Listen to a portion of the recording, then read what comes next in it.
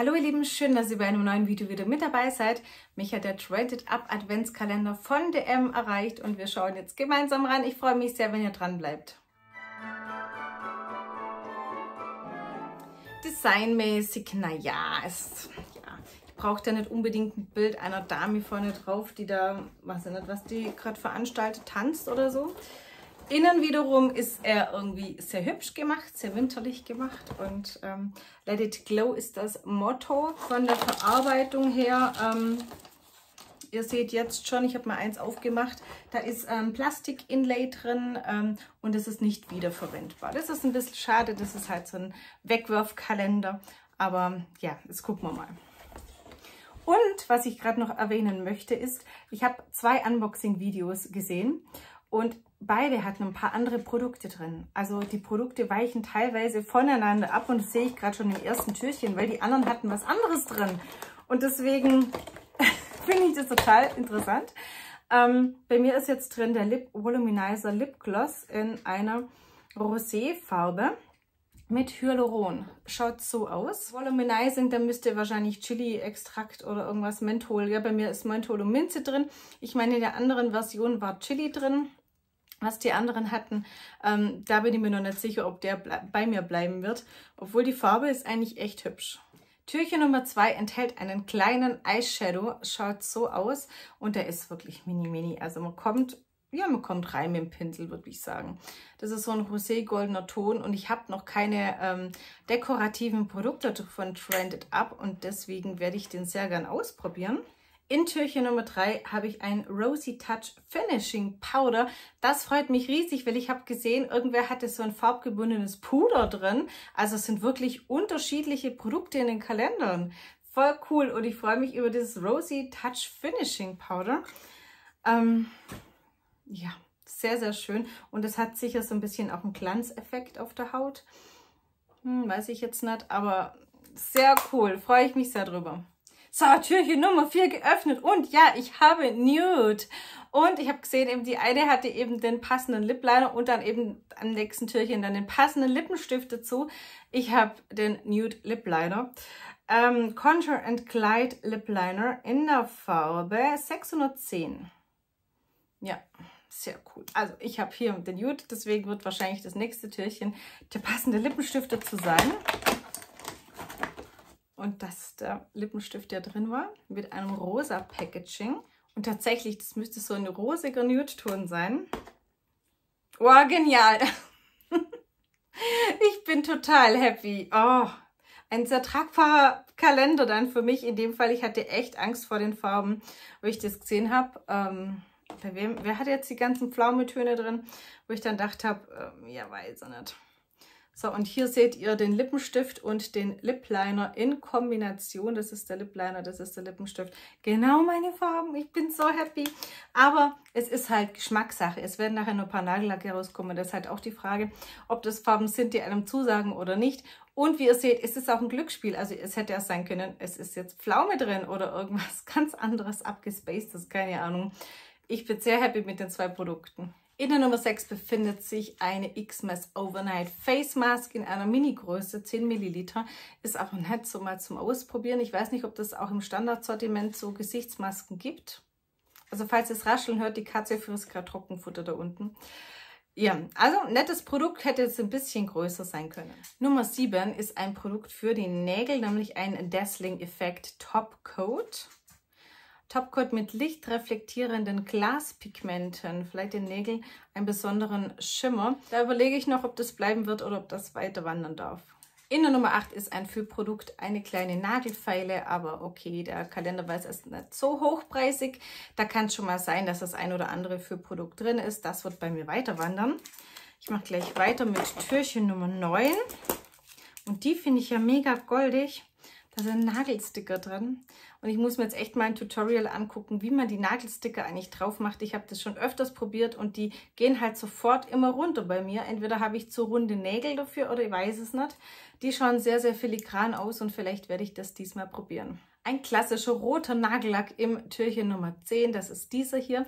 Ich habe einen noch davon Trended Up, habe ich immer aus dem Trashy raus. Das ist so ein richtig metallischer Rotton, der ist auch nicht schlecht.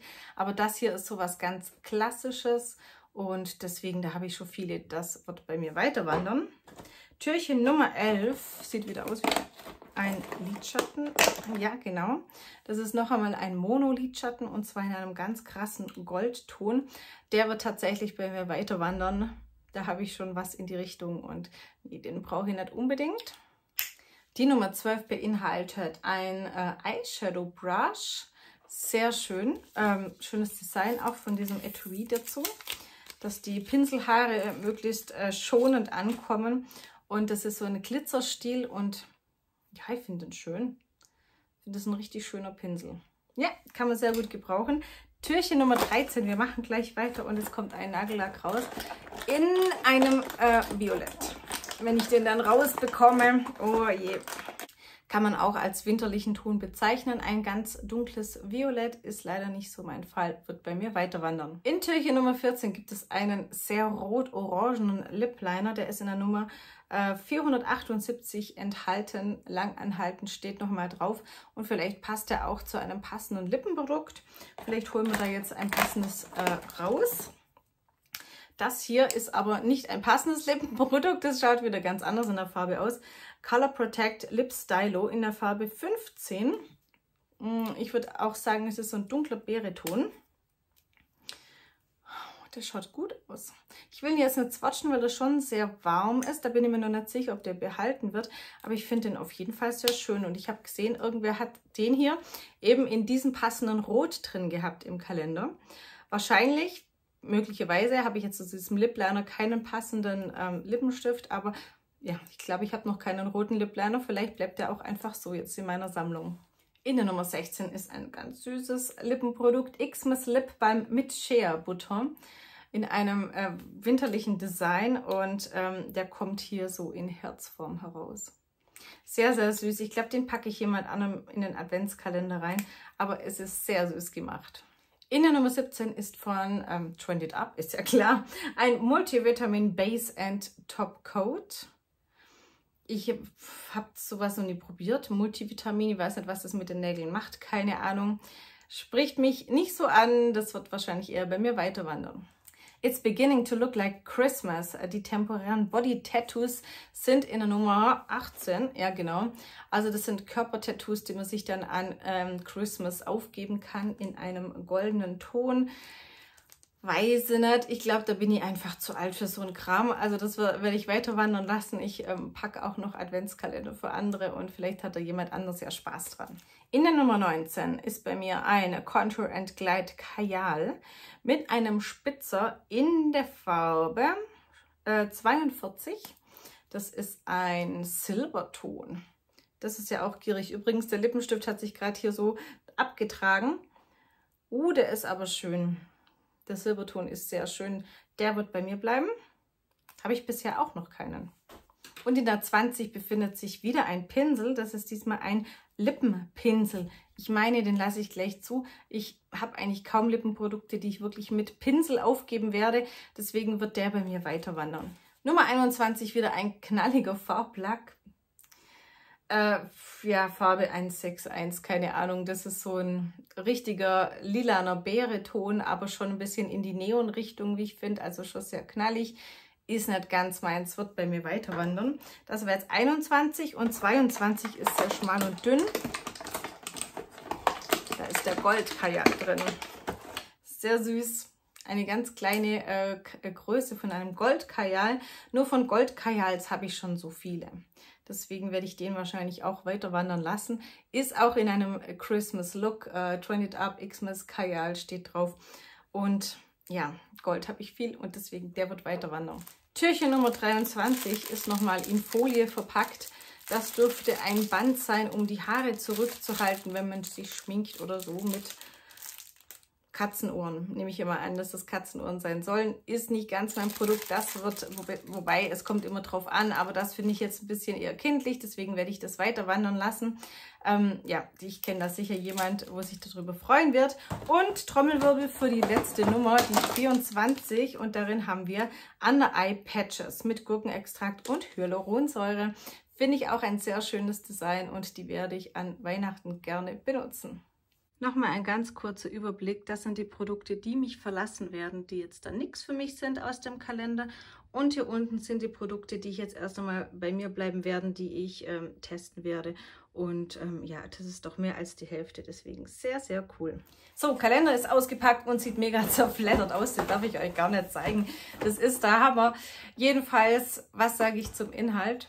Ähm, ich hatte ein bisschen Angst, dass meiner auch so äh, sehr viele untragbare Produkte hat. Ich bin sehr froh, dass ein paar Nude-Töne drin sind. So kann ich mich ein bisschen mehr durch das Trended Up Sortiment testen und ich finde ihn eigentlich ganz süß. Also so wie meiner auf jeden Fall gestaltet ist, finde ich ihn ganz süß. Es sind ein paar Füllprodukte drin, ja okay, aber ich finde ihn besser als den Essence-Kalender dieses Jahr. Von dem her habe ich ihn gerne ausgepackt. Manche Sachen wandern weiter, manche Sachen werden bei mir bleiben.